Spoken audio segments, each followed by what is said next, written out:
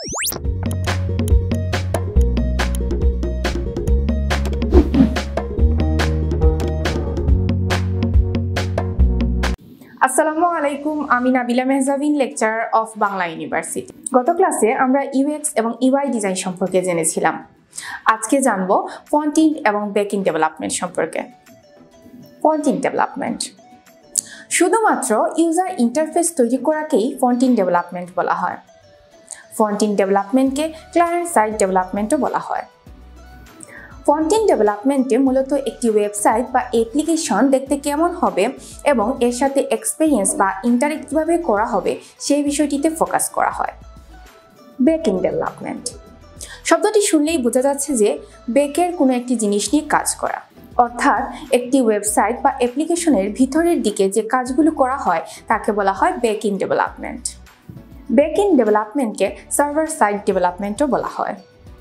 এখানে functionality data algorithm ইত্যাদি যে বিষয়গুলো একটি ওয়েবসাইটকে প্রাণবন্ত করে, গড়ে তুলে সে বিষয়টিতে ফোকাস করা হয়। চলুন একটি সহজ উদাহরণের দ্বারা জিনিসটি আরও গভীরভাবে বুঝে নেওয়া যাক। ফন্টিন্ট এবং বেকিং ডেভেলপমেন্টকে একটি বার্থডে পার্টির সাথে তুলনা করা যায়। হাসছেন।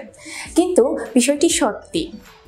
ধরুন, আপনার বার্থডে সেলিব্রেশনের জন্য ইনভাইটেড কিছু মানুষ আসলেন। তাদের কাছে ফন্টিন হলো পার্টির জন্য সাজানো রুম কেক মেনু ইত্যাদি।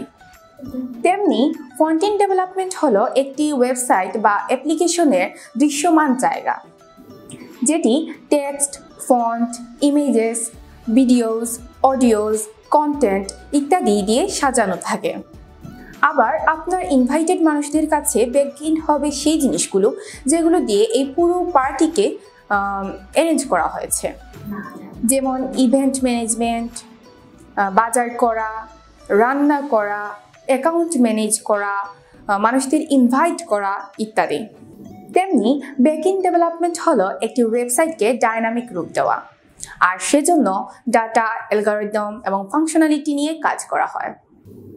ফন্টিং ডেভেলপমেন্ট বলতে মূলত একটি ওয়েবসাইটকে ডিজাইন করা বোঝানো হয়। আর একটি ওয়েবসাইট ডিজাইন করতে মূলত তিনটি ল্যাঙ্গুয়েজ জানা প্রয়োজন। এক এইচটিএমএল দুই সিএসএস এবং তিন জাভাস্ক্রিপ্ট এই তিনটি ল্যাঙ্গুয়েজ দিয়েই আমরা মূলত ফন্টিং ডেভেলপমেন্ট করে থাকি। অন্যদিকে বেকিং ডেভেলপমেন্টের জন্য বিভিন্ন ধরনের ল্যাঙ্গুয়েজ রয়েছে। যেমন PHP Python SQL Ruby JavaScript, Java ইত্যাদি। তবে সব ধরনের ল্যাঙ্গুয়েজ আমাদের জানা প্রয়োজন নয়। বিভিন্ন ধরনের দুই তিনটি ল্যাঙ্গুয়েজ জানা থাকলেই হবে। আমরা পরবর্তী একটি ক্লাসে এসব ল্যাঙ্গুয়েজ নিয়ে বিস্তারিত আলোচনা করব, যাতে আপনারা বুঝতে পারেন যে আপনাদের জন্য কোন ল্যাঙ্গুয়েজ জানা প্রয়োজন। এখন জেনে নেই একজন ফন্টিং ডেভেলপারের রেসপন্সিবিলিটি কী। তাকে মূলত কি কি কাজ করতে হয়? তারা মূলত লেআউট ভিজুয়াল এক্সপেরিয়েন্স টুলিং ইত্যাদি নিয়ে কাজ করে। আরও বিভিন্ন ধরনের কাজ রয়েছে, যেমন বাক টেস্টিং, ব্রাউজার টেস্টিং ইত্যাদি। এখন আসি একজন বেকিং ডেভেলপারের রেসপন্সিবিলিটিতে তাদের মূলত কি কি কাজ করতে হয়? তারা মূলত একটি ডাটাবেস বা স্টোরেজ ক্রিয়েট করেন এবং ম্যানেজ করেন। সব কিছু স্মুথলি কাজ করছে কিনা তা নিশ্চিত করেন।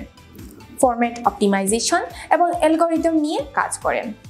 অপারেশনকে সহজ করেন এবং সিকিউরিটি নিয়ে কাজ করেন, যাকে অ্যাপ্লিকেশন প্রোগ্রাম ইন্টারফেস বা এপিআইও বলা হয়। এতক্ষণের আলোচনা থেকে আমরা বুঝতে পারলাম যে ফন্টিন এবং ব্যাকিং ডেভেলপমেন্ট পাশাপাশি কাজ করে। প্রথমেই আসে ফন্টিন ডেভেলপমেন্ট, তারপর আসে ব্যাকিং ডেভেলপমেন্ট।